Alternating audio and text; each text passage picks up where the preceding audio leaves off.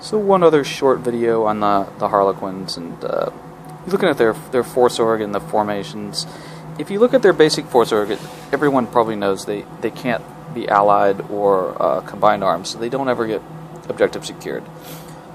They have a mask, and the mask says you have to take three troops, two fast attacks, and one heavy, and then you can take all these elites.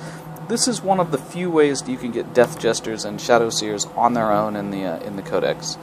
Um, and if you take it, you, you get to reroll your Warlord trait um, in the Harlequin Codex, or you get Rising and you get Rising Crescendo, which is the you can run and shoot. I think initially a lot of people thought this was not a great force org, but it, it's it's not bad. And if you look at some of the formations, you, you, this has got some serious benefit. Um, these fast attacks don't have to be jet bikes. They could actually be the transports because the transports of the troops are, are fast attacks. So you could take three troops, um, take two fast attacks as transports, and, and maybe one more for the troop, and then the heavy support. And then you could just load up on uh, on um, Shadow Seers and Death Jesters. And then looking at the other formations, here's this is what my opinions on them. Cegorach's Revenge essentially is the, the full out mask force org. If you are not going to take Hero's Path, then this, and you're gonna, and you're considering taking a large Harlequin army, then this is the one to take. Um, the only downside that Cegorach's Revenge that I can see is that this uh, formation does not allow you to take any other formation with a solitaire in it. Um, because the formation is a full mask, it, in other words, it has three troops, seven elites, two fast, and one heavy. So it would be as, as if you maxed out a full mask detachment. It gives you all the benefits of the mask detachment, plus um, it gives you a reroll of one on your invulnerable save, and uh, that's pretty good. The downside that I see in it is that you have to take the solitaire, um, and there's another formation that uses a solitaire. But if you're not, if you're not going to take Hero's Path and you're going to take a full Harlequin army, then Cegorach's Revenge is better than Mask. Uh, okay. Serpent's Brood.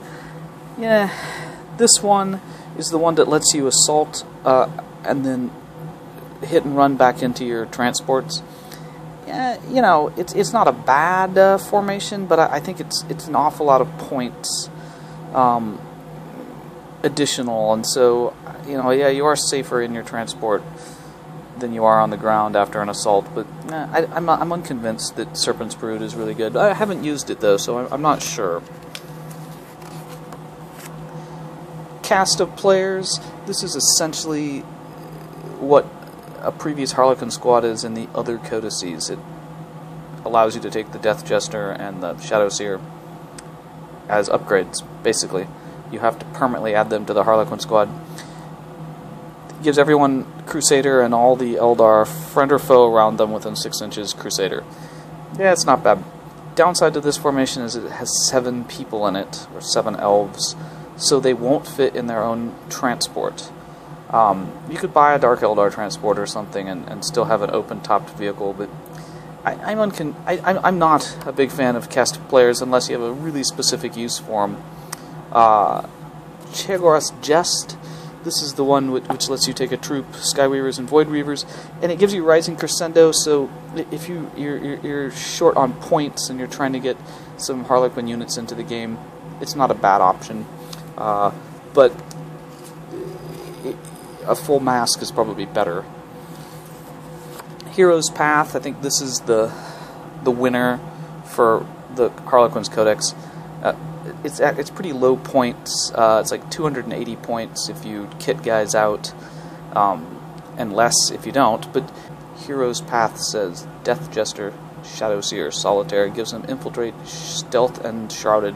So they're almost always going to have a two-up cover save if they're in any kind of terrain. Um, and and they lose independent character. They they can never be joined by anyone. But it's a great way to keep these guys alive, and it's the one thing um, against Cegorach's Revenge that I that I see Um, in that, if you're going to use the solitaire, you can only have one. And then Faolchu's Blade. This is another great option because um, it gives you a reroll on your Jink saves, which is great for your jet bikes, and actually pretty good for the Void Weaver. So um, the downside is, of course, you're going to be uh, snap firing, but uh, um, all these have at least weapons that can hit while snap firing. So I, I, think this is a good option. It's another good way to get some units into the game if you're not going to use a full mask or the or the revenge uh, formation.